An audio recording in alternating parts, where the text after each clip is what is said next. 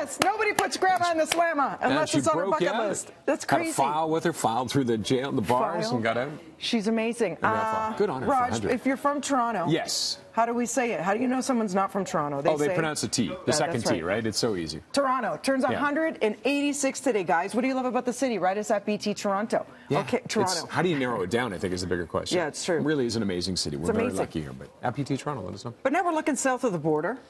Okay, Elizabeth Warren has not had a good week. She withdrew from the uh, the Democratic uh, race, right, to uh, to go up against uh, Donald Trump. And then this happened as they were getting ready to close things out. This is uh, Elizabeth Warren in better times. Okay. She did not do well on Super Tuesday. She even lost her own state, Yes. Massachusetts. So then they're cleaning out the offices, and things go a little bit awry. Bailey's there. Who's Bailey, you ask? It's her dog.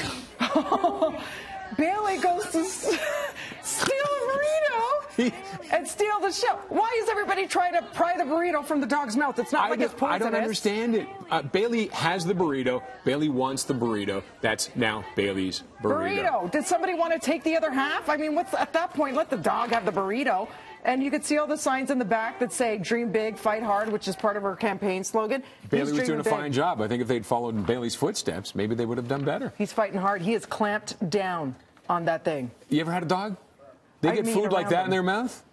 You're not getting it back. And like you said- not getting it back. You don't want the scraps, even if they reject it. If they're like, Yeah. "Nah, I don't like it," and they, they put it on the floor, it's it's it's uh, and it's got was, their spit all over celebrating. it. He had more more votes in Massachusetts. Massachusetts. Massachusetts. Massachusetts. It's another hard word to say. gee, I hate it. Today, we're Sluggishness in Massachusetts. sluggishness. Sluggishness. Still can't do it. Massachusetts. That's a tongue twister. You know what else is tough? What's that? You know what Friday's also welcome? The leisure Leisure suit. suit. Okay. You can't be sluggishness. You No. can't have sluggishness if you're wearing a leisure suit. shoot. in Speaking Massachusetts. of, Nicole, you've got all the spring fresh fashions. We're still going here.